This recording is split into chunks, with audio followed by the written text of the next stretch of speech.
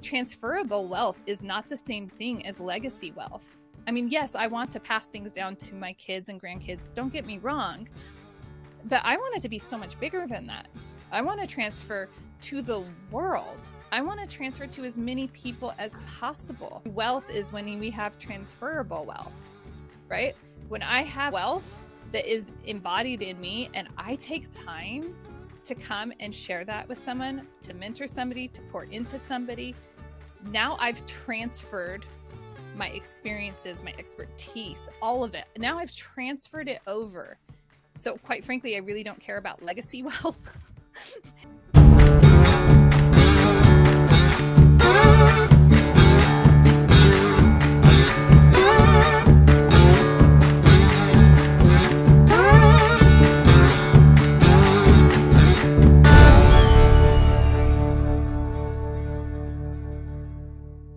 On today's episode, we have real estate investor and podcaster Julie Holly.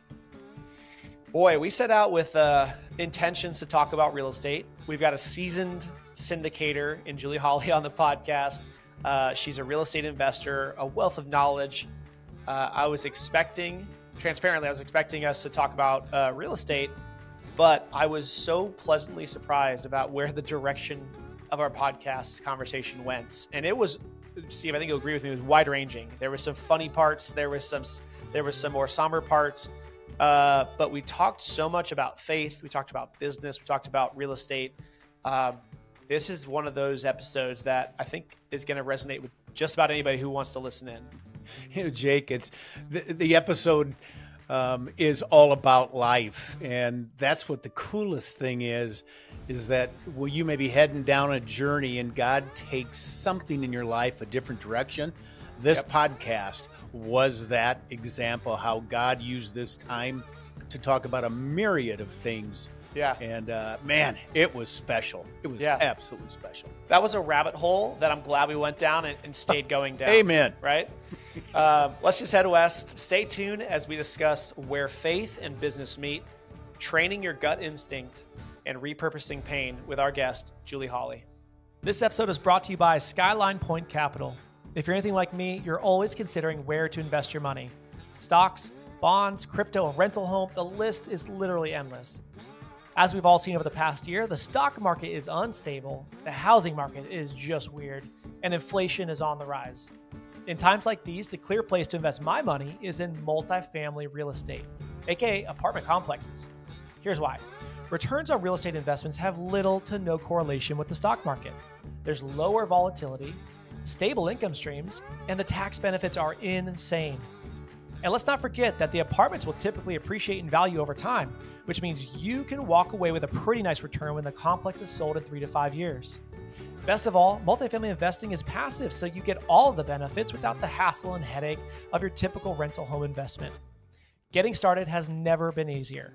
Head to skylinepointcapital.com to learn how you can start investing today. Well, Julie, uh, the typical rhythm of heading west is we always start with our guests talking about how they got to where they are today. It's sort of that heading west moniker. You start in one place, you head west, you end up in a different location. Uh, you're a syndicator today, uh, real estate investor, podcaster, but you started off, as I've picked up from my deep research in LinkedIn, uh, that you were an elementary teacher to begin with and then moved into realty. Can you kind of walk us through how you started in elementary education and then how'd you move – into this world of syndication and all the the bumps along the way. It's always always a fun fun thing to recount the path of of how things go. So i want to front load this by saying that every single one of us is already pre-qualified to live into the life that god has already created us for. Meaning mm. our dna is completely unique to us and there will never be another one of us um, walking in existence in the face of the earth. And when we're willing to simply say, I have faith, I am going to trust this process, then we have this expansion that can take place in our lives where we can pivot from being a public school teacher, a stay at home mom, a homeschool mom, to a public teacher, to full time real estate investor.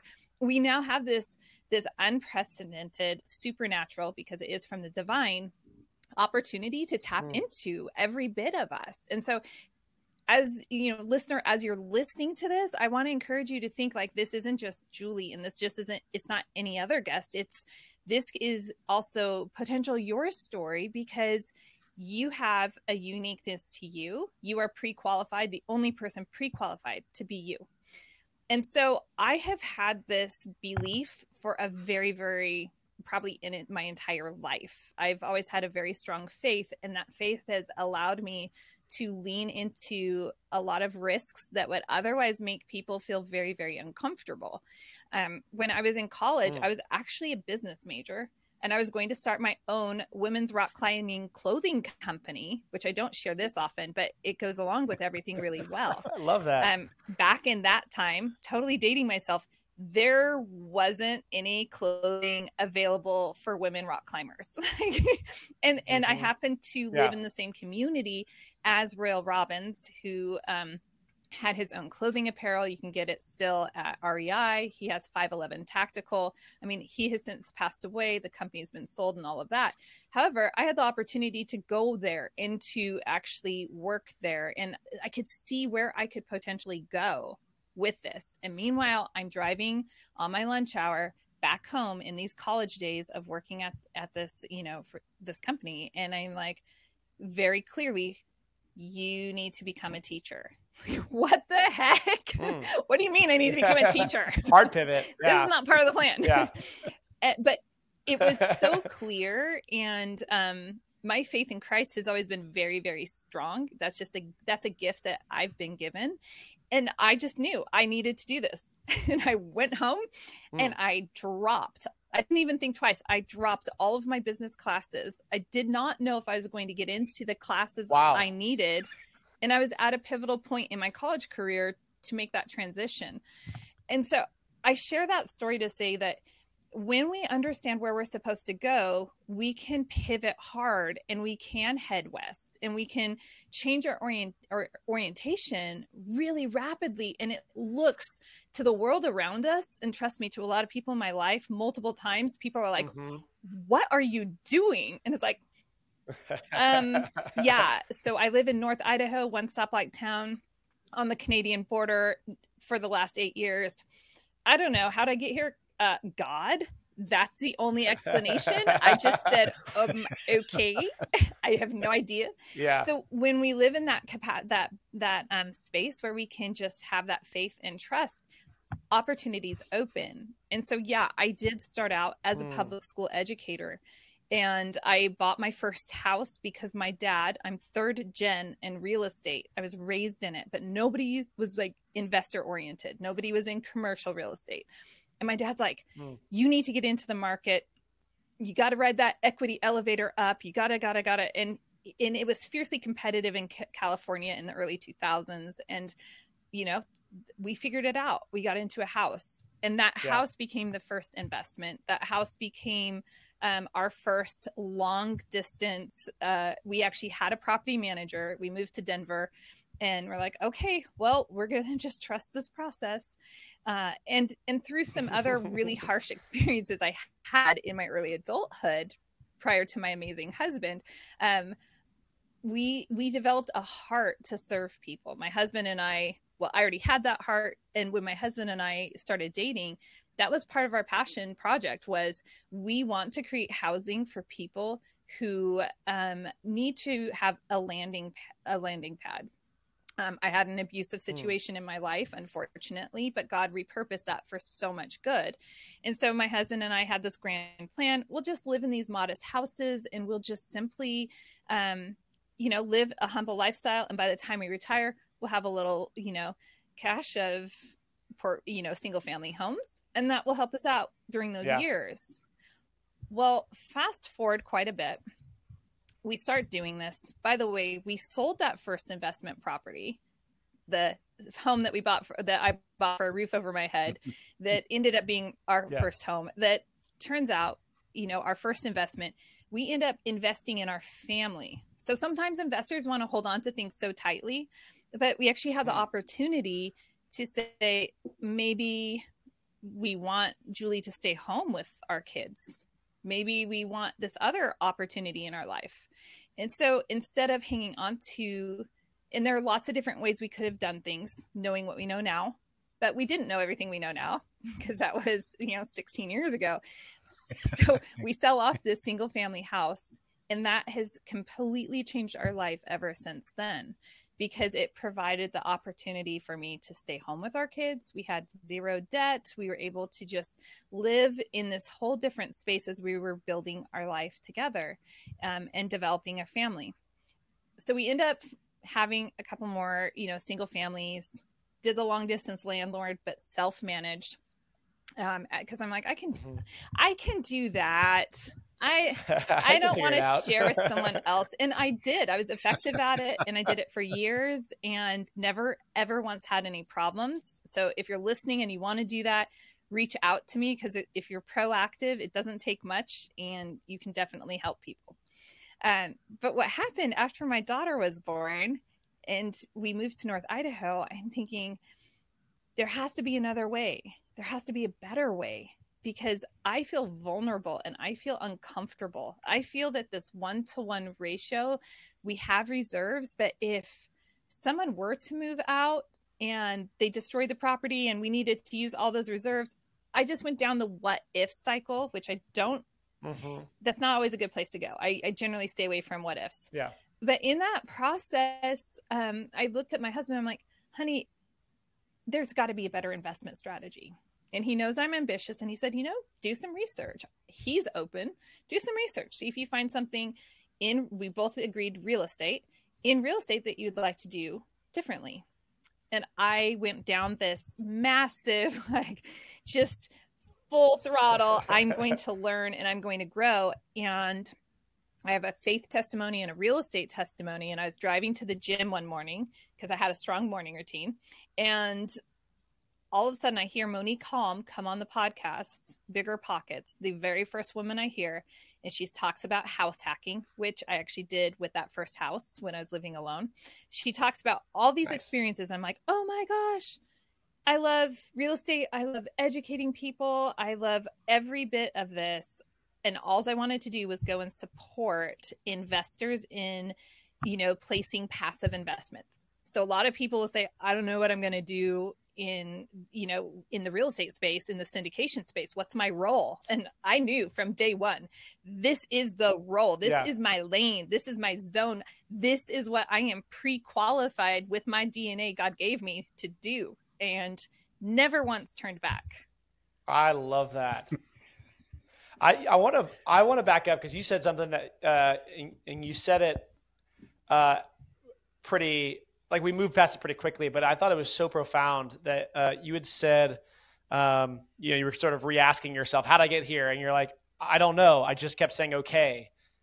And I think about all of it, you know, if you've if you've ever read Matthew McConaughey's book Green Lights, he talks about this as well. Of is um, you know, in life, God'll God'll open doors for you, turn on green lights, whatever the case may be, but if we have this open hand mentality and say, all right, Lord, whatever, whatever you want to take, take away, whatever you want to give, give to me. My hands are open for it. I just keep saying, okay. And I end up in a perfect place like this. And it's so funny how, because uh, when I, before, we had, you and I have met uh, a couple months back at a conference and, and, uh, and when I was doing research today, I was like, elementary teacher to realtor to syndicator and pot, how, like, how does this get here? Makes perfect sense when you know that there's a, a, faith story behind it and you just are the willing party that says okay i don't know what that means. I don't know how to get there. I don't know how i would have taken myself there but i'll follow. And i think that's a, such a profound lesson to learn for people especially who have a faith background but just roll with the punches follow the signs and keep saying okay. You know it's, it's so I, I was going to say julie in, in the sense of uh, in taking what J- uh, Jake is talking about. We're on. I, I view it. We're on God's journey. We He's going to take us where we go, and I see so many people kind of stay at the starting line of the journey, trying to figure everything out, and uh, that's part of Head West. Just take that first step and go, and and be faithful of what God's going to do. And you're going to go left, right, up, and down. And, and it sounds like how you ended up in Idaho has that same tone to Yeah, it. right. It does. Okay, so a, a couple of thoughts because um we all know I we all love we all love God. We all love Mm. Jesus and, and and I'm sure you guys love just being, you know, in the word, reading your Bibles and and I'm in the process of preparing to have my second massive event and I'm doing it alone and it is terrifying. And maybe at the beginning of December I was actually having some sleepless nights and mm. I do not like losing sleep, okay? I don't have any young children in my life anymore. There is no reason I should not be sleeping at night. Okay. and so I was losing sleep and wrestling because there's so much exposure, so much vulnerability when you're putting on a big event. And it's like you want to serve your sponsors, your speakers, and your attendees. You want everybody to be winning so powerfully, right? And it was keeping me up at night.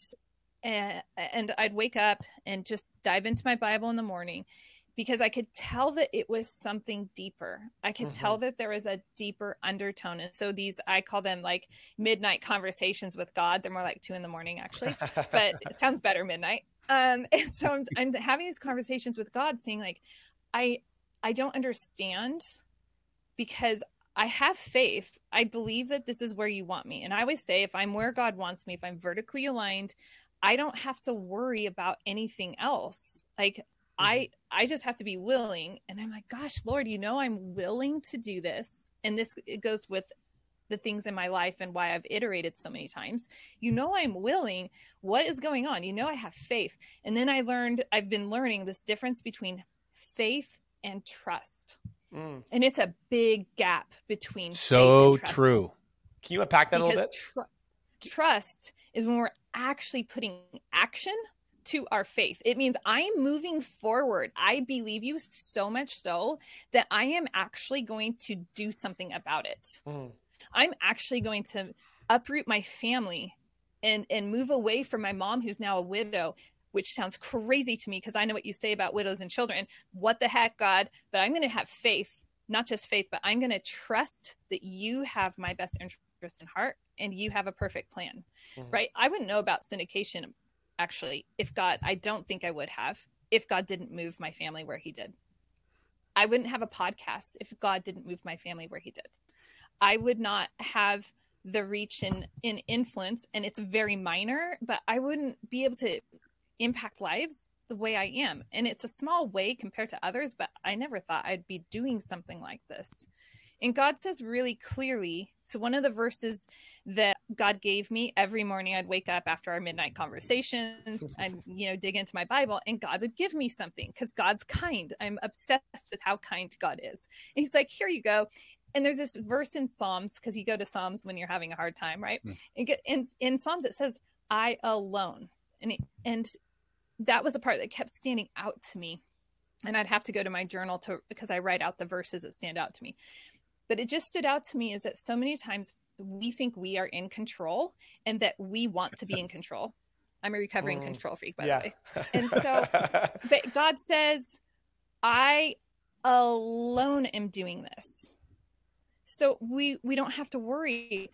I don't have to worry about how it's going to happen. I can take action if I have the faith that that I am where I'm supposed to be and I trust God, which means I take action. I know God alone is the one that is in control of all things. And if we put a little cherry on top, going back to, I don't want to have a, um, I don't want to have a Jonah moment. Right? Who wants a Jonah no moment where does. you- Okay, we don't want to be stuck in the belly of the whale because we were, you know, just like not going to be in obedience with God's plan, right? So I don't want a Jonah moment. I also don't want a Red Sea moment. Bless Moses' heart, but I don't want the army, and I don't want to be. Here's the army. Here's the river. I don't want to be in that position. Yeah. So I have settled in this this sweet spot recently of like I just want to be like Joshua crossing the Jordan with the Israelites because God held the spring water flow of that river. God actually held it back. Mhm. He didn't part it in the same way that he did the Red Sea. He held it back. And then in the middle of the river on dry ground had every single tribe stack a rock Mhm. so that it could be seen for generations to come and tell the story of God. But what's profound is they camped there in the middle of the night on dry ground. We're talking millions of people. They didn't, or over a million people at least, right? And they, where, where is our level of trust? Like I told you guys off air, I used to be a checklist Christian. And when we live that checklist Christian life, we don't live an empowered life mm. that's full of the adventure and God moments. And so everything that I have done over the years has really led into that, where it's like, okay, cool. Um, I don't know how you're going to hold this water back, but I trust that mm. you're going to hold this water back and I'm going to put my feet in this quickly flowing river and I'm going to trust it's not i'm not being an idiot. Yeah right. Right? I'm not just like okay god i think that you some, want me to win the intelligence yeah I, i'm going to go buy a bunch of lottery tickets because i know you want me to be wealthy. I'm not saying being dumb like that like know where god's calling you to but that's where opportunity lies. Yeah. Where do, where do you feel the uh, this is a great lead into the question i was kind of kicking around while you were talking is for you where where does the line lie where so going back to the bible there's a story um, where uh, the water parted and they crossed. There's another story where the water parted when they dipped their toe in the water some took action some took waiting where's the line for you on these things where if you're if you're constantly living in a state of just saying okay lord i see the direction you're going where's the green light red light for you of i need to wait for god to move or i need to go I think God makes it really, really clear, right? So when he parted the water, Moses had to put his staff up in the air. Yeah. And that was a very different different element versus like okay the priest going in first and having to actually be in the water mm-hmm. before anything happened when i when god moved my family to north idaho i actually blogged my way through it at some point i may have a book for i mean it, it should be a book at some point right but the concept behind it, and the reason I mention that is because it's called right now, the working title from years ago is uh, Writing in the Wait. Because that entire move was a story of waiting and waiting and waiting and being comfortable in the waiting. And so it's almost like that hot potato. It's like being open and saying, okay, am I doing what you have asked me to do? God knows and honors that we have willing hearts. So he knows that we're willing to do what we need to do and sometimes we just have to simply wait because god wants to to stretch us so that our trust our, our faith sorry not our trust but our faith is grown.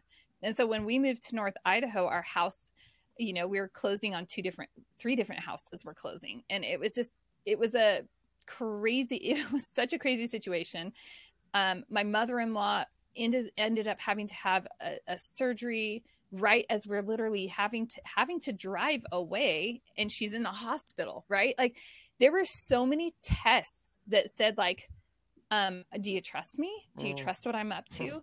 And the same thing happens in our investing right? We have to say like hmm do we trust god with our investing or are we going to trust the news and what the news is saying about the market cycle and the fear that they want to inject into us? Or are we going to have faith and say um, I don't need to explain why this works. I need to know that the numbers work. Mm-hmm. Yeah. I need to know that all of that works and that the mechanics of the business plan are intact. But I don't have to freak out and not move forward because I'm scared the sky is going to fall. Mm-hmm. I don't need to sideline any part of my life bec- out of fear or complacency. And I will. I'll add one more thing. Apparently, I'm adding extras after everything I say. I apologize, but um, it, there was actually a deal. I launched it to my investors, and I had actually been down in Texas, so North Idaho to Texas, opposite ends of the country, yeah. and I'm down there. My kids are with me. You know, we're a whole family. Walked the whole investment. Like this is beautiful. This is going to be great. This is what my investors are looking for. I like the team. I like everything about this. The numbers are solid. The financing is solid. Like it passed all of my check boxes. But we already, I already said I don't like not sleeping. And I had three sleepless nights. Hmm. And I couldn't explain it. But every time I went back in those midnight conversations, it just kept going back to just not being at peace with with this deal. I'm like, wait, that's so weird. I was at total peace with it. And I launched this out to my investors. And yet, um, I'm going to withdraw. This is crazy. I could get on the blacklist. Like, mm. these are investors that I respect and admire and I want to partner with. And I'm going to withdraw. How's that going to work for my reputation? Sure. I mean, all of the questions. Yeah. But I withdrew from it. I called the investors that were already interested and I said, hey, I can't put my finger on it, but I'm going to trust. Um, and they know I'm a person of faith, but I'm like, I'm, I'm going to trust this intuition that I am being given. Like, everything looks good. You are welcome to invest in this if you want to. Like, yeah. And they said, no, we're going to follow you. You know, like if if you're not going to be in it, we, you know, we want to go where you go. I'm like, okay. A month later, the whole thing fell apart. Wow and I could not. I think that was also God's kindness because sure. usually we don't get to see the outcome of things, mm-hmm. or it's years yeah. later. So the fact that it was a month, month and a half later, I thought, well, that was that was really kind that I I acted, I listened, and I took action on that. But there's always waiting. Mm. Waiting is not bad. Yeah, we're just impatient Americans. it, Julie, you uh, you, you've had places where God has told you to wait. And uh, I can tell I was on an opposite side of a thing back in my earlier business days where um, we bought a competitor. This is when, when I was in my manufacturing distribution business. And the numbers look good. They look like, oh, this is a sweet deal, sweet deal. And uh, I couldn't sleep at night and I'd wake up the next morning and oh, we're going to do the deal. We're going to do the deal. This went on for three months. We ended up doing the deal. I mean, this was up and down. Ended up doing the deal, and I remember the feeling and the conviction God was giving me to not buy this manufacturing company. I bought it. This is back in the early days, back in uh, the beginning of some of the manufacturing side. And uh, while you look at the numbers, while you th- think these numbers are going to come through and everything is going to be great, uh, we ended up buying the business, moving management to our company, uh, to our office in Fremont, Nebraska. A year later, I fired all the people that came with. I almost, I lost, won't say the number, but it was the worst and the best for me because I can tell when God's talking to me, mm. and that that feeling of uh, I get the, I don't I don't care what it is, what's happening, going out to the mailbox, the conviction of don't go to the mailbox. You know you yeah, know what I'm sure. talking about, yeah. and and and uh, I think in life. Um, you have those experiences where you're not listening and God uses that for good. Mm-hmm. And luckily, I found that out earlier in life than uh, than than uh, later in life. So your your your story about the the the property in Dallas, something didn't feel right. You weren't sleeping, and that's uh, God's discernment. And your discernment, listening to God on that. That's mm-hmm. that's a great story. Yeah, great story that concept of, of of discernment or uh, you know gut instinct or intuition and such right it's something that i have realized that most people don't train themselves mm. to listen to yeah just like most people don't teach themselves how to think i like john c mm-hmm. maxwell's mm-hmm. book on um, thinking for a change or I don't know, it's back behind yeah. me. You know, it's a great it's a great book because you realize like people are lazy and they don't actually teach themselves how to flex the muscle and think. Hmm.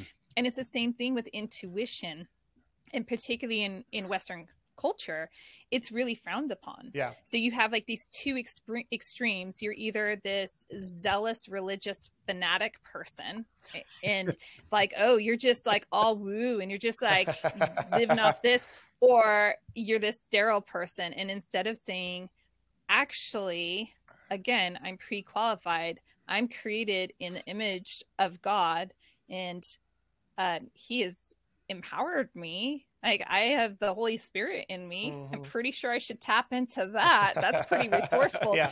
But you have to train yourself how to listen to it. Yeah. You have to train yourself with, oh, that's not just me. That's not just a voice in my head, or that's not just a feeling.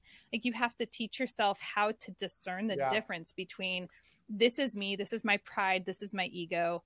Um, I learned that with through an e-commerce experience that was miserable, but it was the best experience ever because I had 126,000 leveraged on an American Express card when Walmart shut my store down. And they shut half of their stores down. Like all of Wow. these, you know, third party Hmm. ecom places. And it was terrifying. I was thinking, what kind of position have I put my family in? I've compromised every like, this is terrible. This is horrible. And um, it felt so vulnerable in that in that moment and then god was so faithful and my husband was he was just kind of going along. I wanted multiple streams of passive income and he's like he had red flags that he saw. So he and i both learned different lessons from Mm. this. And and you know i'm like no but xyz these people are doing it la la la. I i honestly it was fomo that was really driving everything. I'm like dude all my friends are doing this and they're making money and i don't want to be the one not making money. Like sign me up. And, and so i and it's passive income which is our goal so i go down this path. When you have that much leveraged on an amex card right you have these payments. And when you have an $80000 payment coming due like oh that's not fun. And it's so cool because walmart could have held all of my all of my money because all the money was tied up in the store. And um, they could have held it. But every single time there was a payment due and i'd be losing sleep losing sleep. Probably six months were absolutely miserable. And um, and then right when i needed it because that's how god is god is on time Mhm. he's on an on, on time his God. time, yeah. He- he's and, and it's like it's always perfect Yeah. timing and so i'd get the, i'd get like a you know distribution uh, that was my money made me mad they were holding it but i would get part of my money and it would be enough to make the payment that was necessary talk about building Mm. Yeah. trust you guys talk Yeah. about or talk about building faith and Yeah. so when we think about it it's like i learned to trust my husband or to you know to to have more confidence i have confidence in my husband that comes out wrong um but to listen to him more and his input and his guidance and his intuition Mhm. so we have to listen to our spouse's intuition on things if if So we are true. married. and his his intuition was like no no no no no and i'm like overriding it and so often we override that intuition with what we want. And so just simply learning how how to listen through that that was a painful experience and this is also why i'm sold out on real estate. I'm like never deviate again never. I will never deviate from my real estate path. I it's uh, even like both of your stories sound like expensive lessons but valuable lessons, right? And I I think people think that a gut instinct is just you have it or you don't. Like there's it's it's black or white. And and to your point, I think that it's it's more of a, a muscle that is strengthened over time. Everybody has the ability to to strengthen their gut instinct. And gut instinct is simply just experience that is that has been learned over time, but it's been continuously tested. And and I think it was almost like a, a an old radio dial. Like you turn it right and you kind of tune it in. Oh, a little too far. Go blow back to left a little bit more. And you tune it in to where I've done enough where I've dialed this baby in that if I if I hear this thing, I know something's up. And that's something that I've learned from bad things, I've learned from good things. But I reflect over the decisions I made and how I felt in the moment in order to dial that that thing in. One of the things we use uh, in our family is our spiritual antennas. Are your in spiritual antennas up? Yeah. Are they getting bigger? You know, and I and I use the the, the visual of a moose up in Idaho. You guys got elk. yes these do big antlers, th- these antennas. Is your spiritual antenna up? Because things will be coming in front of you. God will put things in front. Other whatever. There's so much going on. Are your antennas up to take and appreciate what God's putting in front of you? Mm, yep. And if you're so concentrated on the, this little this going on, you're going to miss blessings that go by Mhm. and it's critical. One of our one of my partners and uh, Jake knows him, and he has a saying that money buys you experience, and experience makes you money. Mm-hmm. The point being, we all start businesses, we all do things, we all think we have. And, and if you look at anybody in, in the business world that it's that's heading the right direction, everything didn't work. Everything didn't work out. And now you got me on a now you got a soapbox. so Jake, rein me in here. One of my great business mentors, um, my first job, he would love to hire people that failed. Mm. Yep. Mm. They wanted to hear the fail story. How did you get up? How did you pick yourself up? What did you learn from that? That was more important than everybody that one, one, one, one, one, one, one, and they don't know how to fail. And because in life, life's not easy. We're all doing life, and things change all the time. And so I always think about that: is that we're all going to have times and issues where we fail, um, and how we pick ourselves up, and it could be expensive, but you've got to pick yourself up and get going again. Mm-hmm. Get back on God's journey. Yeah. You know, the, to, that, to that point, I'm thinking of like, I told you guys I always have books around me, but a couple of books I've read recently is like Donald Miller and Business Made Simple and Tripp Lanier in this book will make you dangerous. Mhm. Both of these books, two completely very different authors, Yeah. right? Different worldviews and things like that. And in both of those books, they both point to the only pe- the people who are successful have more fails on their track record. and so if you So want true. to be Yeah. successful, you have to be willing to face plant. And so I think when we're you know that classic analogy when we're kids and we we go from being a little baby into crawling into walking into running all Mhm. of that like we're tripping falling like you look at any one and a half year old they're the most one and a half to two and a half like they're the most bruised up like what happened over their scarface Yeah. right and so because they're they're doing it and and they're putting action out there and their failures and every single human being walking around which is everybody who's able right? I mean we've all gone through that process and somehow we forget that process. And we stop creating. And for those of us who you know believe in and have faith in god right we get to co-create with god. How freaking awesome is that, that. like Yep. hi sign me up. Let's co-create together and i'm going to trip and fall and stumble along the way but that is going to be a okay Yeah. so let's do that I love Go that. chase the lion. Yeah, I love that that Yeah. mentality. Um, you can either be you can either be a willing participant or a willing bystander, and you can be used in the story of what God wants to do, and it's gonna be freaking fun and and scary at times, but uh, you're gonna end up in a destination that's far better than any destination you could have chosen yourself. Or you can stand by and watch as He uses other people to do the things He wants to do, and uh, it's really it's really your choice. If you're if you're uh, if you're the captain of an ocean liner and you're off course, how do you get back on course? You got to turn left Yeah. or right, but you can only make correction if you're moving. Mm. Hmm. If the ship is not going and moving, if you're not heading west, if you're not taking that next step, if you're not doing the things to head down that journey for Christ, you can't make a change. You can't move. You can't steer a, a ship that's not moving. So you've kind of like, you got to get moving. You got to go on, take that next step. Yeah. And that visualization, that little child that's learning how to walk, takes a couple steps and boom, goes down, gets back up again, just keeps on going.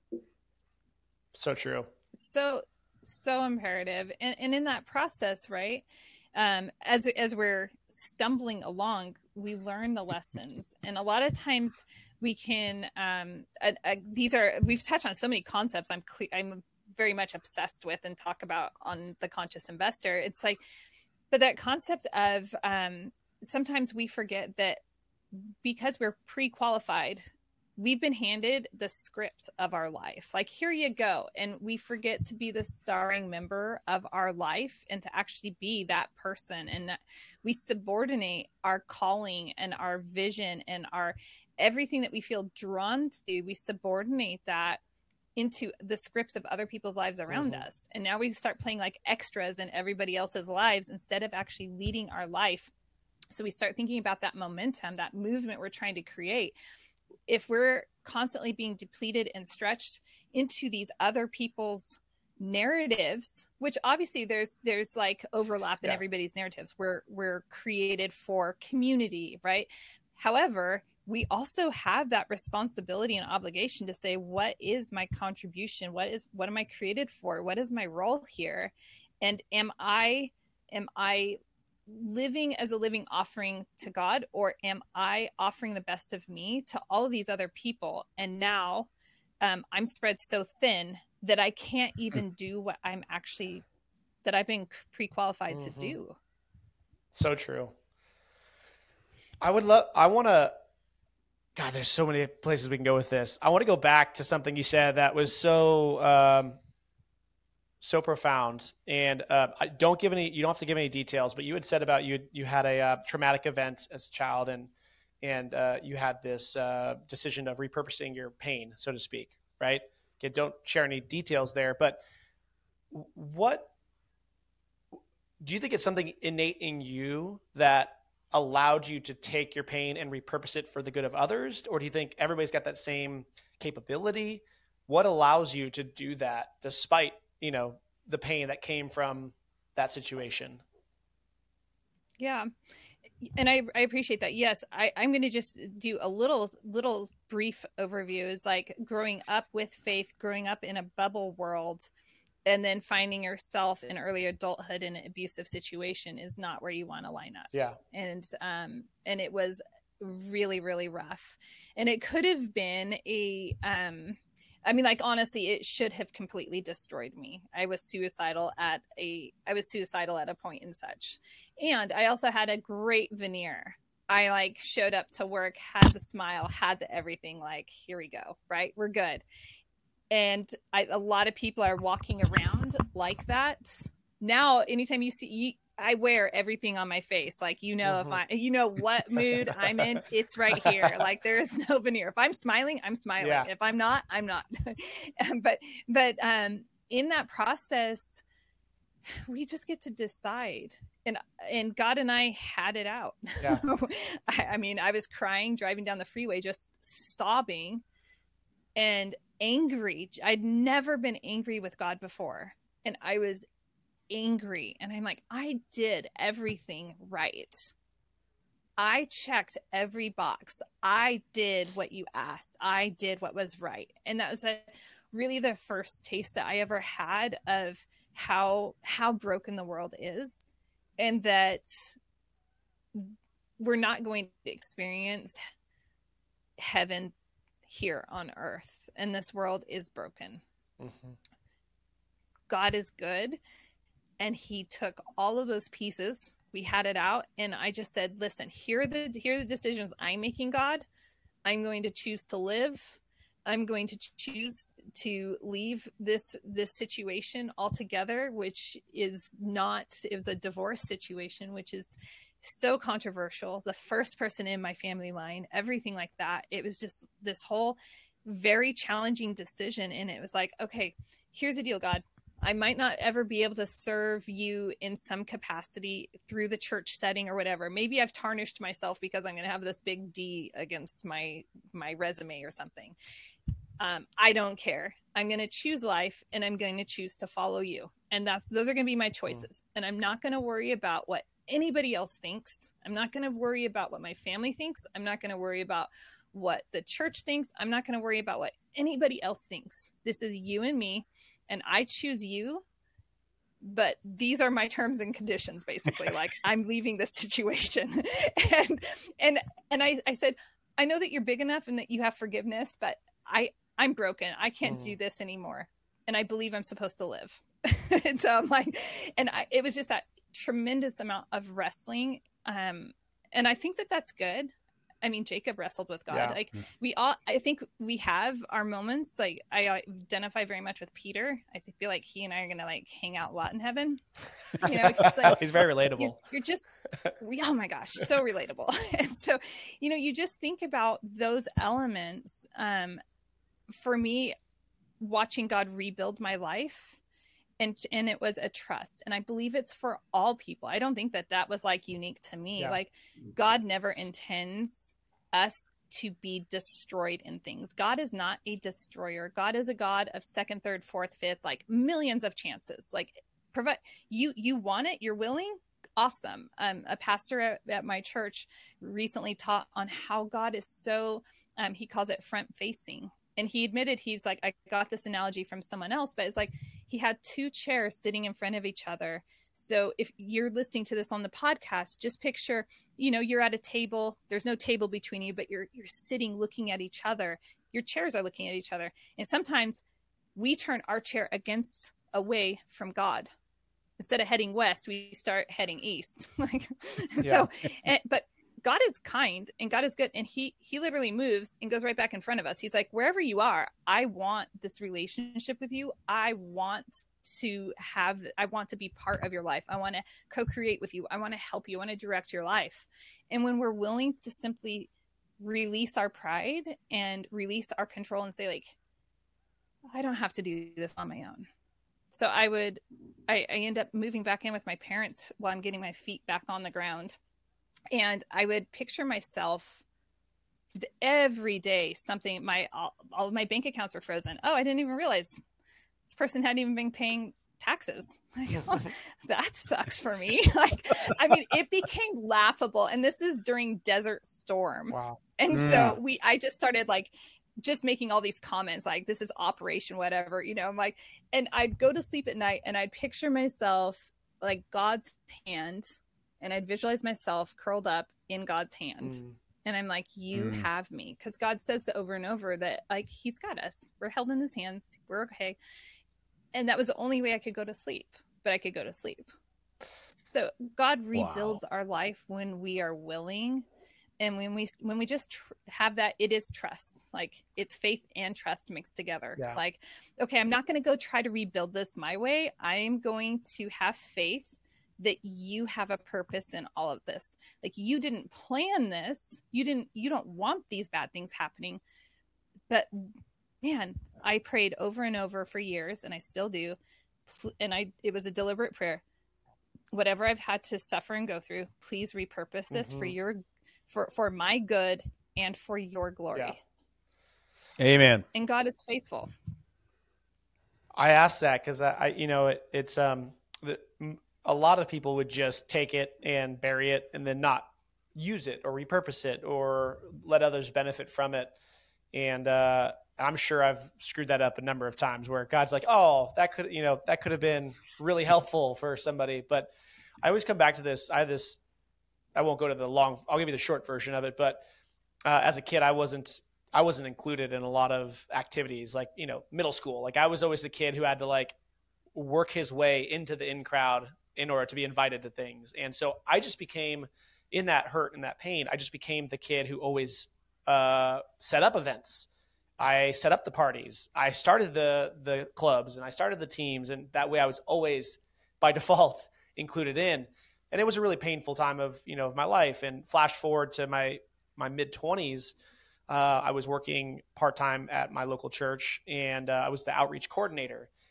And uh, I can't remember what we were doing, but uh, something was going on. I wasn't feeling great about about my role in in the church, um, and I remember like all of a sudden the Lord reminded me of of all that pain of being left out, built the muscle to be an event coordinator and to invite people and to bring people in that's now being used for the benefit of everybody else at the church. Because now i'm an event coordinator and i'm setting up events where everybody can can be part of it. And i just think about the lord's ability to to reshape and repurpose good bad or indifferent for the benefit of yourself but the benefit of others as well if we're willing like you said just say okay all right lord this is uh, I, I this is your story really. I'm just the i'm just the lead uh, actor or actress in it. Uh, but that takes a that's, that's a tough decision to make, and it really takes some some thoughtfulness to to make that decision. We have to be okay with the pain. Yeah. We have to be okay that it can hurt, but we can still make we can still make good choices. Julie, you were like we have to we don't have to deny any of the the pain or the heartache or anything and to know that Christ went through that disciples went through that christians across the globe have gone through that over the over all the centuries right? And so it's like that's so that's oh and to have like a okay like it's it's okay that i feel this way and it's it's okay that i can still take action. Mm-hmm. and it's okay that it's a takes time to heal. Sometimes it's a quick heal and sometimes it takes mm. time. Yeah. You see you see so often in life and is you were talking about earlier Julie about people going through life and I'll I'll use my analogy that people have this facade on. They're they're walking through the life whether it's business or um, anything that you're doing that they have this facade. And one of the coolest things that I've seen and you've probably seen the same thing when you're working with your investors and things like that is that when people actually get real, the facade goes away and you start talking and investing and leaning into their life and then the walls come down i've seen just magical things happen for christ if people put the facade down come as you are and take that step mm-hmm. how how have you you said you're investing in people how have you seen that Oh wow. I don't there's very rarely a day that I don't I'm not blessed. I say I was gonna say that I don't see that, but it's such a blessing to see that, right? Um, even last night I drove uh, two and a half hours south and spoke at a at a real estate meetup group. It's a women's meetup group. And um, in that process, I share that vulnerability, that realness you know i actually i don't always share about my early beginnings and some of the heartache and the struggle however what came of that is that now in this room of women i can say this is my experience mm. and i faced abuse and i faced these situations head on in in a room like this i know that there's somebody else in here statistically that this is going to resonate with and when you can say that from a point of he- healing, right? We speak from mm-hmm. our scars, not from our bleeding wounds. It's a very powerful opportunity. And it doesn't have to be something that dramatic. Like, even just knowing that the investors that I serve, every single one of them, they have a story. They have a reason why they want to invest. And most of them have um, so such cool concepts. So, for example, I in my small North Idaho area, I was introduced to um, to a couple, and they need to 1031 something, and it it's a sizable amount, and it was, and and we share faith, and we'd met a month and a half ago, we reconnected recently, and now here I am connecting them with okay, wait, you have a deadline. We got to get these I, these properties identified, and lo and behold, in one of the conversations today of a potential place we can, you know, they can park this, you know, 1031 into, here's another investor who shares faith and they are like completely synergetic. And it's, it might even include, you know, buying some land off of a church. No joke. Wow. so like, that their their hearts to serve. It's and honestly, that's the first time it's come full circle like that in that capacity but that just happened you know a few hours ago and it, it's it's amazing when you see oh i can connect this person with that person and mm. what is going to materialize of it i don't see this is what it is we want to be obsessed that we're in control of the outcome and if we do everything mm. right going back to checklist christian or if you don't share faith you can just say i'm living a checklist life and that's not living at all yeah. you know the outcome is not always contingent and dependent upon us there are so many factors that we cannot even see and reconcile that are at play. And so to be able to just trust the process and say, all right, I'm not in charge of the outcome. This is my goal. This is where the ship is headed. and I'm going to course correct along the way as necessary or until I get better guidance as to that's the wrong island to go out to. But That's where I'm going to head. Yeah. And so it's it's really cool to watch that whole process play out. Julie, um, we're all in the same circles in real estate syndications and et cetera.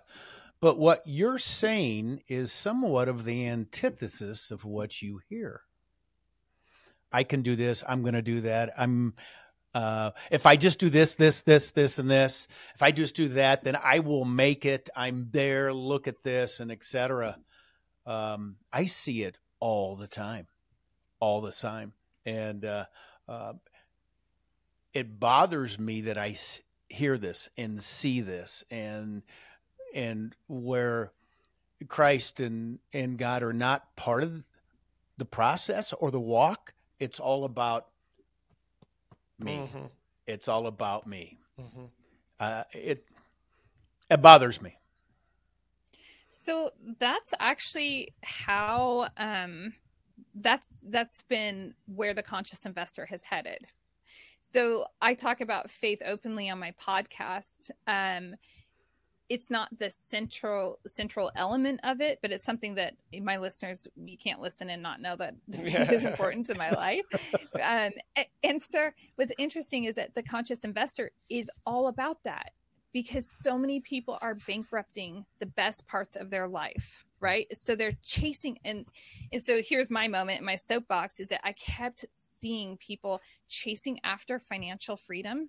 And it's like oh i'm going to get financial freedom. Ooh i'm going to leave my w2 and i'm going to be a full-time real estate investor. And i'm always like you realize you are still going to have a job. Like i know that that seems glamorous to you but you're trading a job and you might not even have the shoulders to shoulder the stresses. Like have you ever been an owner of a company? Have you ever been in in the C suite? Is that like, or have you j- been in lower middle management and you're like, no, I can run the show? Like, come on, people.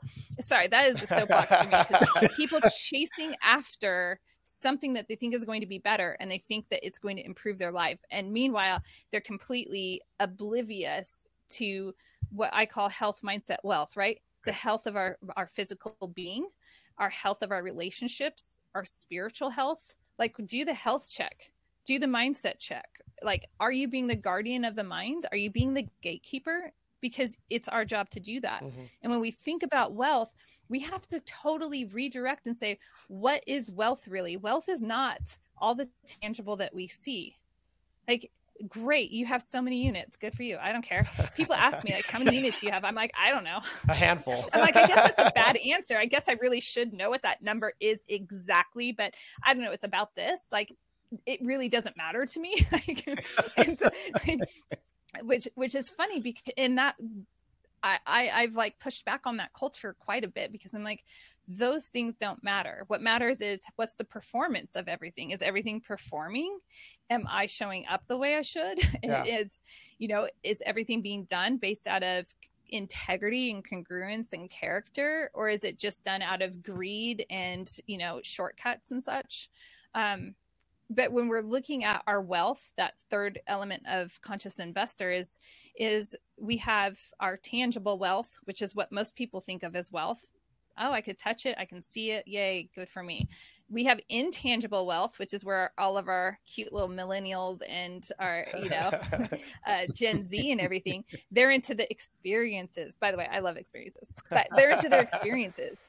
Okay well guess what? Your experiences die with you yay for you. That's no different than building up a whole bunch of tangible wealth. You mm-hmm. building up experiences is just the flip side of the exact same coin. Mm-hmm. So, yay for you. What are you doing with it? and that's why true wealth is when we have transferable wealth, right?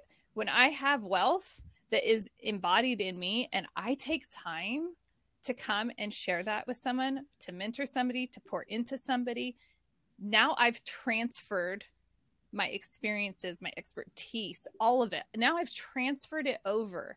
So quite frankly, I really don't care about legacy wealth. I've I've actually recently kind of like kind of pushed back on that because I'm writing a book and in that book when as I came across like I was contextualizing what wealth really is and I'm like transferable wealth is not the same thing as legacy wealth I mean, yes, I want to pass things down to my kids and grandkids. Don't get me wrong. But I want it to be so much bigger than that. I want to transfer to the world. I want to transfer to as many people as possible. Almost like freeze tag, where when we're kids and you play freeze tag, you touch the person who's it, they touch them, every that person has to freeze until somebody that's unfrozen comes and touches them. I want to go in this world of what I think are too many frozen people. I want to transfer wealth. I want to transfer knowledge and expertise, and I want to go and touch and unfreeze as many people mm, as humanly possible. Good. And f- for me, that is very much faith related, right? It's anchored in faith. Like, can I transfer this amazing faith and, and story that God's written and woven in my life over the years? Can I share that with you and, and help you see God working in your life? Yeah. I okay, we're running at we're coming up on our time end of our time. I have one more question because I know we'll probably go for about ten more minutes on it. Uh, but then we'll go into a speed round because I've got so many. You're like, come on, Julie. No, just, I told you guys you might have so to tell many, me to be quiet. Got so many directions we could go, and so many. We're gonna have to do part two of this podcast episode. um, okay, you seem to have no problem sharing your faith as part of your business and as part of your everyday life. Um, how did you get there, and how do you recommend somebody, who, another business person, male or female, who struggles with uh, that line between where faith and business meet? How do you recommend merging the two for for somebody who wants to? It's such a part of how every it's part of everything in my life. It is the framework in which I see all of the world, right? It's the context, it's everything. And whether we have faith in Christ, we have in whatever our background in in um, like spirituality and religion is, because there are so many people that have a variety of backgrounds. Like we have to recognize that that is creating this filter in our lives, whether we can see it or not. There is a filter in our lives. I was working with a coaching client a couple of days ago, and that client was raised with a particular faith um, different than mine. And actually, this has happened multiple times.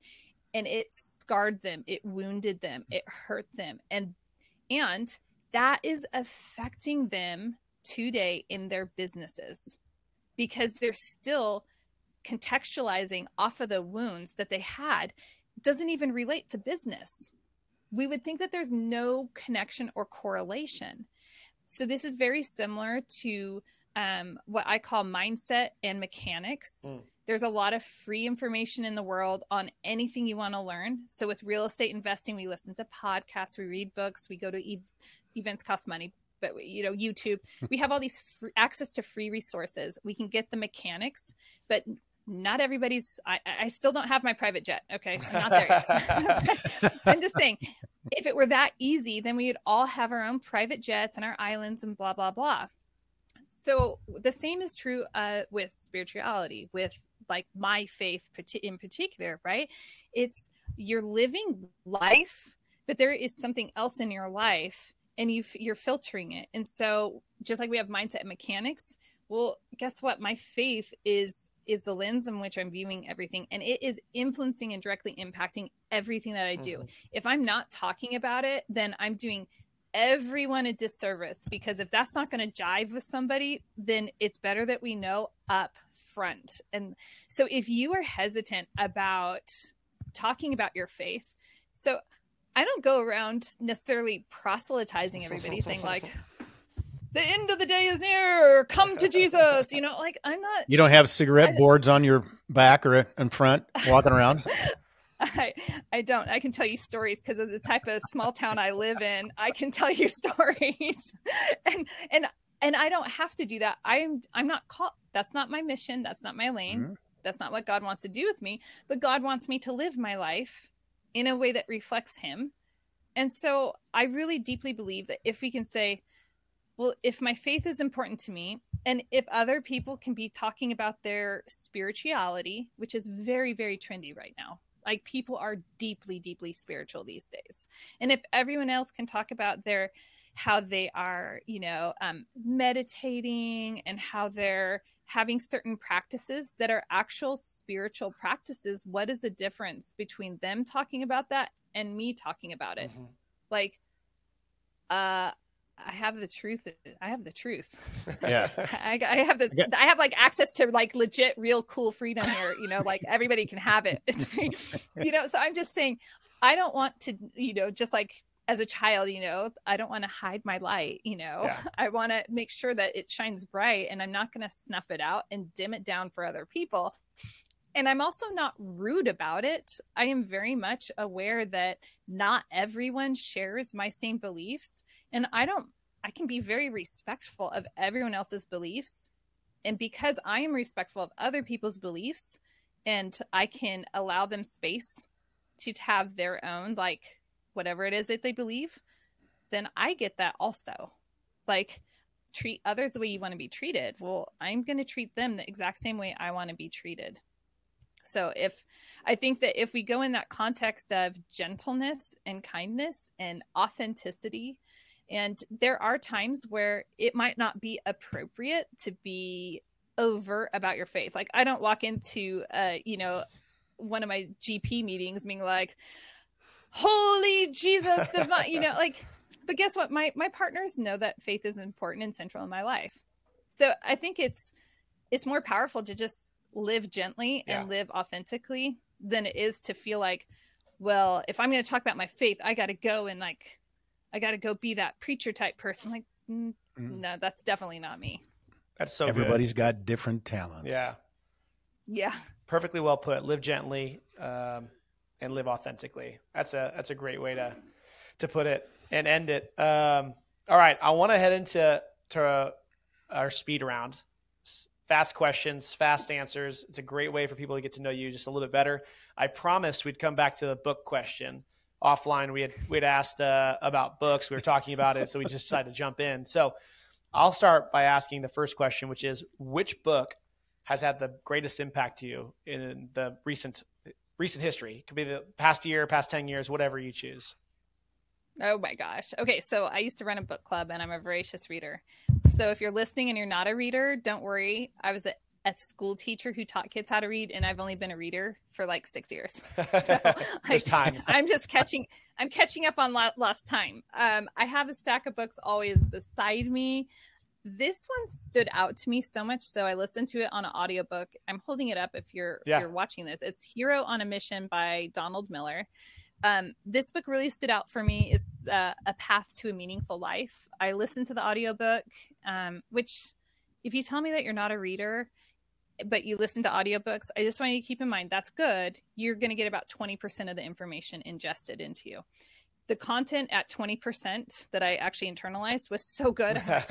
to buy and read it. and I want to apply these practices into my life. And he really takes you. I wrote out my eulogy um, because that's part of the practice. Yeah. So I, I actually really enjoyed that crossover between Stoicism and um, Donald Miller is also a person of faith. Yeah. But that that concept of living with death in mind, like we were given a death sentence the moment we were born. That's not morbid. That's mm-hmm. not negative. It mm-hmm. it just is. And so, how are we going to use the heartbeats that we've been entrusted with? And I say entrusted with, like do something with it. You're a great, tremendous investment by God. Like God invested in you. He gave you heartbeats. So go make the best use yeah. of them. What's one piece of real estate advice that you give to others? Oh gosh, so many things that I would give to others. What's like, the best one? Don't worry. The, I think the best one is stop looking around at everyone else and do what you're supposed to do right? So don't try to keep up with the people around you because you'll make bad decisions a lot of times and you'll rush into a deal that is probably not the very best deal. So, like, know who you are, know what you're about, and however long or short, there is no time metric to this. Just walk the path that unfolds before you. That's good. What in what situations do you find that you're most happy or fulfilled? Anytime that I have an opportunity to pour into people and to support hmm. people mm. and to be engaged in in meaningful conversation where it's truly co-creating speaking of that again right but you're creating like this shared pool of meaning mm-hmm. if you will um That's from Crucial Conversations, another phenomenal book, right? But I love it. I love that's when I feel most alive and and fulfilled is when everybody's just like creating all this meaning to expand our understanding of things. Yeah. All right, and last but not least, uh, as you head west, and we've talked about this is uh, proverbial. You start in one place, end up in another. Uh, you learn a lot along the way, ups and downs, and uh, flat tires. But as you head west in life, where do you hope to end up? What does this look like? Not geographically per se, but just what does life right. look like? Yeah, well, considering I wrote my eulogy recently, I mean, I can actually tell it, you yeah. where I wanted to. I have, I have. And you know what's really cool about that is I realized that my husband and I can be married for like 70, 75 years. You know, if we both live together and to a ripe age, like, dang, that's, that's awesome. really cool to like create life together.